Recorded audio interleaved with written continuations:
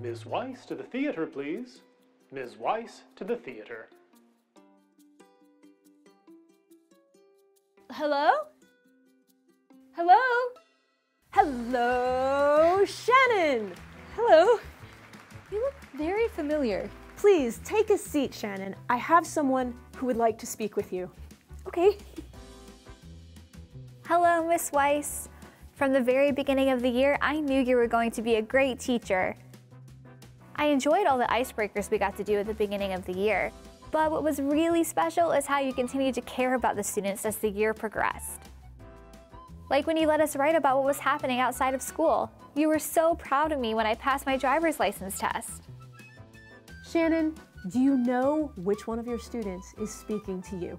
Of course, that's Robin. You are correct. Wait, now I recognize you. You're the host of that game show where teachers try to guess which students they've positively impacted throughout the school year. Right, you are. Shannon Weiss, this is your classroom.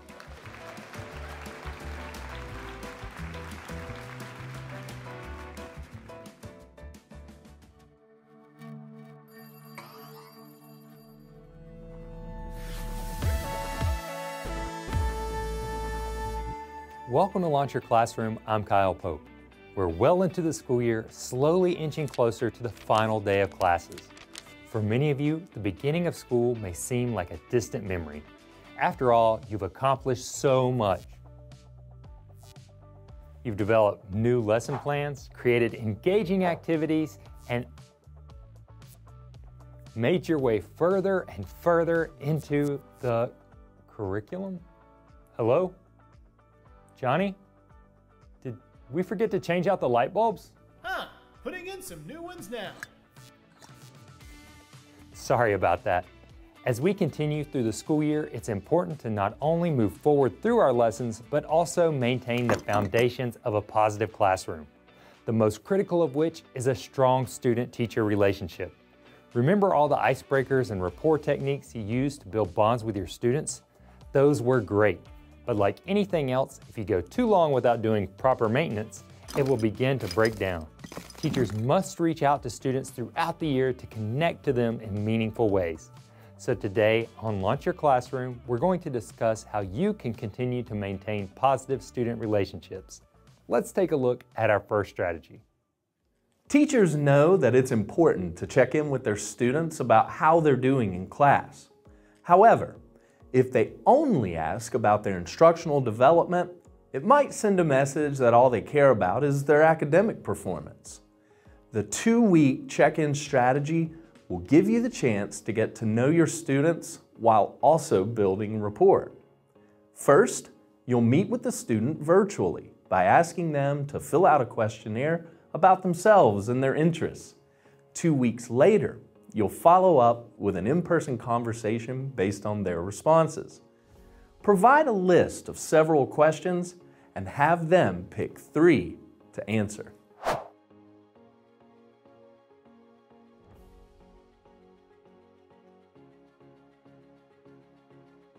Since seeing my dad perform at the Poetry Slam, I've really enjoyed writing some of my own. I really want to focus on it.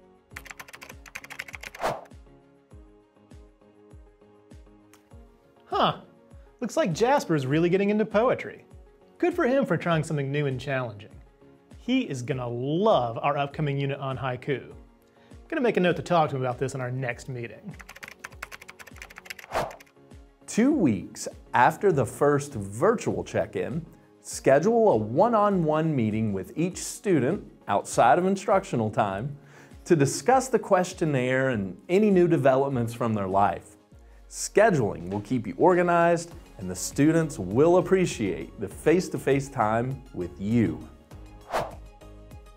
The wind blows tall trees back and forth. The falling leaves fly free and float. That's great, Jasper. I just love lyric poetry. You know, next week we're starting a new unit about a different type of poetry called haiku. The rules are completely different, but I think you'd really enjoy the challenge. Really? That sounds exciting. Maybe I'll try one before the lesson. After this in-person meeting, repeat the process. Ask them to revisit the list of questions, updating the same ones from before for extended reflection or exploring different ones. Once you get a sense of the student's interests and with their permission, you can include those in your lessons for future engagement. Good morning, Jasper. Hey, we're starting that lesson about haiku today that we talked about. You still comfortable sharing yours with the class? Absolutely, Mr. Johnny. Okay, class. Today we're going to be talking about a Japanese form of poetry called haiku. Now, the most common form is a three-line poem about nature with a 5-7-5 syllable pattern. Who knows what that means? It means that the first and third lines have five syllables, but the second one has seven. That's right. Class, during our check-in meetings, Jasper's expressed an interest in poetry, and he's been working on some of his own. He's agreed to share an example with us today. Take it away, Jasper. Stone, wood, and water, deep breathing among nature, fresh air, and forest. The two-week check-in strategy will build strong student relationships as they share more about themselves. Remember to talk to a school counselor if they share anything concerning. It's important to create opportunities to discuss topics beyond your students' classroom achievements. By connecting individually with your students on a regular basis, you will demonstrate to them that you are there to support them and help them grow.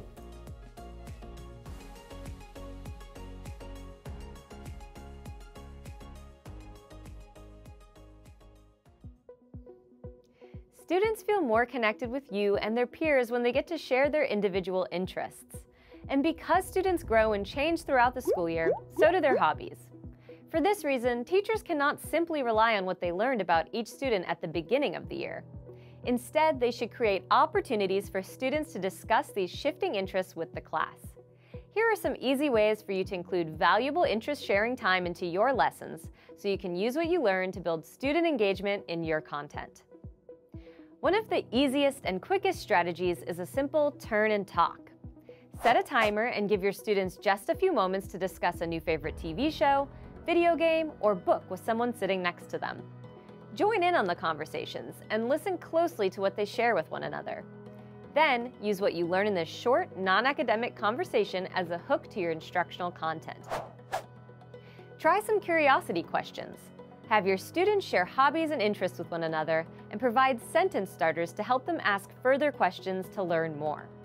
Then let students report their findings and updates about one another as class posters, comic strips, or a simple whole class discussion.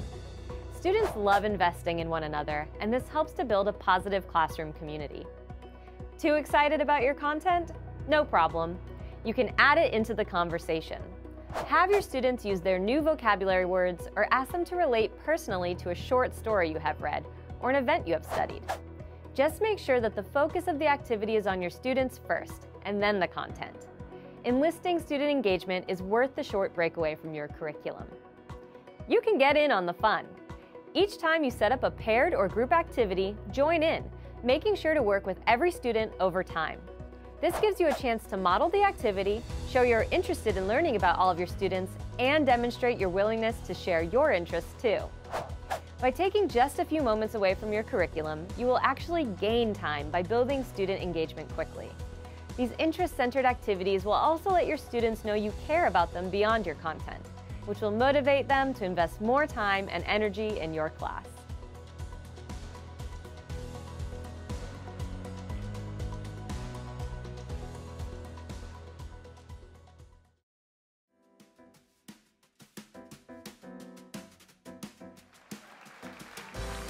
Welcome back, viewers, to This is Your Classroom. Shannon, are you ready for another round? Yes, I love hearing from students. Okay, student two, tell us a little bit about yourself. Hey, Miss Weiss. At the first of the year, I remember you asking us to tell a little bit about ourselves. But I didn't feel comfortable talking in front of the whole class. You kept trying to get to know me, even talking to me in low pressure situations, but I still wasn't sure what to say. Then one day you noticed some of my art and were so kind to ask me about it. It's so nice having a teacher who cares about my interest. Shannon, can you guess that student? That's definitely Sarah. Her artwork is so wonderful. Once we were able to make that connection, she became way more engaged in class. You kept trying, and you finally found a way to reach this student. Great job. This is your classroom. We'll be right back after these important professional development messages.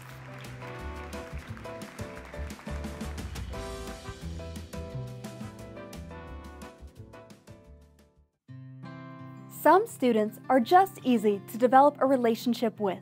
They are friendly and talkative, and conversation flows. When they need help, they ask for it, and if they don't, then they let you know. Then, there are the students you get to know quickly, out of necessity. Students who need more of your time and attention because of academic needs or behavior concerns. But what about the quiet students, the ones who sort of blend into the background? These are the students who don't really excel or struggle. You know their names, you have a general idea of their academic standing, but what do you really know about them? It is important to reach out and become better acquainted with every student, not just those who stand out for one reason or another. Just because a student keeps to themselves doesn't mean that everything is going well. Hiding behind a shy exterior could be a student who may be struggling to understand your content, feels lonely, or is going through a difficult situation at home. Without proper attention, these are the students who may experience significant academic trouble or can develop negative behaviors later on in the year. On the other hand, you may also find that the quiet student has some really unique perspectives and interests to add to the classroom dynamic.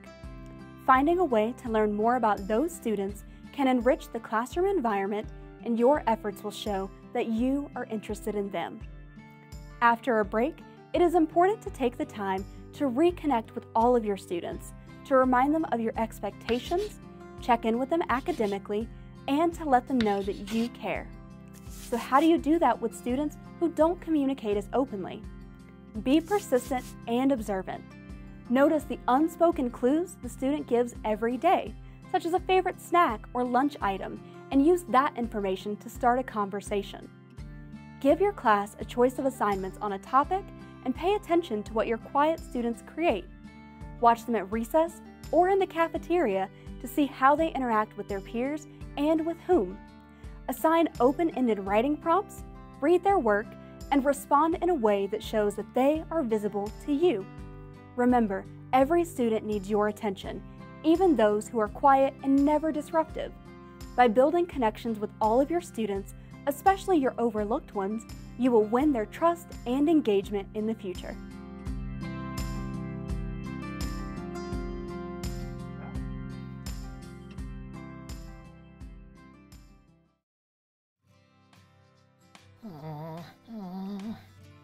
Patrick, please see me at the end of the school day.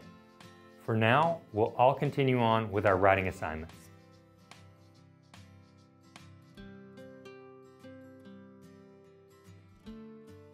It's inevitable that throughout our teaching careers, we'll have some challenging interactions with students.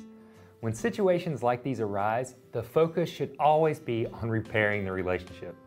Not only do you risk losing your students' trust and damaging rapport, but how you handle the situation will ultimately teach your student how to deal with conflict, so it's best to do it carefully and with intention.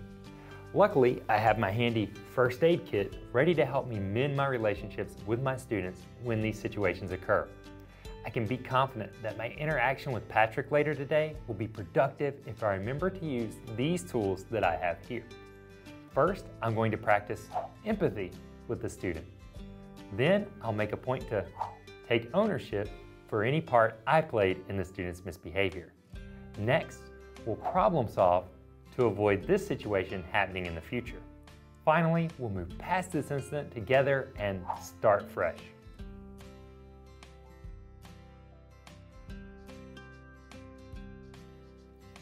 Hi, Patrick. Have a seat. How are you doing? I'm okay. Before getting started, remember, it is really important to come to these conversations with a clean slate. Your conversation will not be productive if you hold your students' behavior against them when you meet. Hey Patrick, earlier today I could see that you were frustrated, so I understand why you acted out. You can show empathy with a short verbal statement to help your students feel seen. Don't try to explain that you know how the student is feeling, but speak generally about how emotions can affect the way we behave. This will encourage your student to participate in the conversation more readily. Oh, you can? I guess I was frustrated. We all get frustrated sometimes, Patrick. We were covering a lot of content today, and maybe I presented the material a little too quickly. Taking ownership, when appropriate, is a crucial part of mending any relationship. When a teacher acknowledges their part in a misunderstanding or conflict, they should explain themselves and apologize sincerely. The added benefit of taking ownership is that it models respectful behavior to your student. I appreciate that, Mr. Pope. I'm sorry too.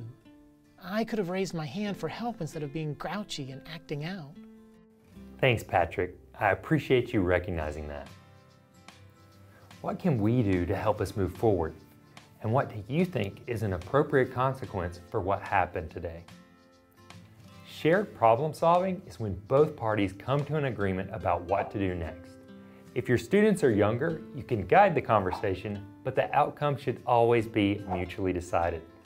When your student is given the opportunity to discuss consequences themselves, they're more likely to make meaningful changes going forward. Well, I know I disrupted the lesson earlier. Is there anything I can do to help the class? Sure, Patrick. I could really use some help setting up the next bulletin board tomorrow after class. Thanks for meeting with me today. We'll start fresh tomorrow. Starting fresh is very important for building trust with your student.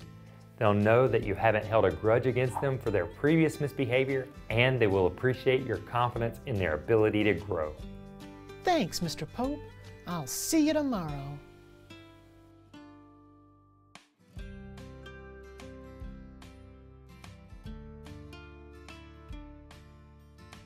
Although sometimes it's hard to see while in it, conflict creates opportunities for us to grow as individuals by becoming better communicators. It also helps us to learn from our mistakes and each other.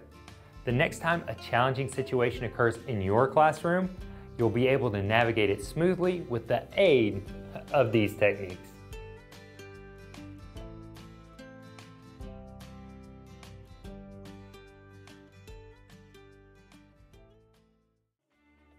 Building strong student-teacher relationships at the beginning of the school year is essential to establishing a positive classroom culture. We know that these beneficial interactions lead to increased student engagement and less behavioral management issues. So teachers must be careful not to ignore these relationships, but instead make a concerted effort to reach out to students, whether it's the first month of school or the last. Remember, with proper maintenance and upkeep, your investment will last. This month on Launch Your Classroom, we'll continue our discussion on maintaining student relationships. We'll provide you with another strategy that will help you connect with students who are returning from a break. We'll sit down with an expert educator to discuss questions teachers have about maintaining student relationships. Then, to finish the month, we'll have some tips on how you can maintain colleague relationships. So be sure to like this video and subscribe to our channel to get all our upcoming content. And check out launchyourclassroom.com for all your professional development needs. Thank you, and we'll see you next time on Launch Your Classroom.